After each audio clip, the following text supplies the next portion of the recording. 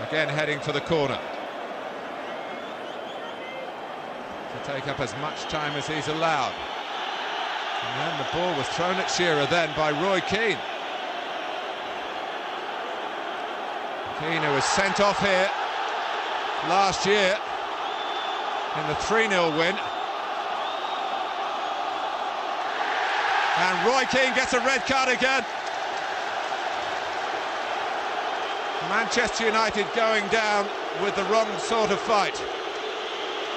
I don't know why, but Keane threw the ball at Shearer. Card again. Manchester United going down with the wrong sort of fight.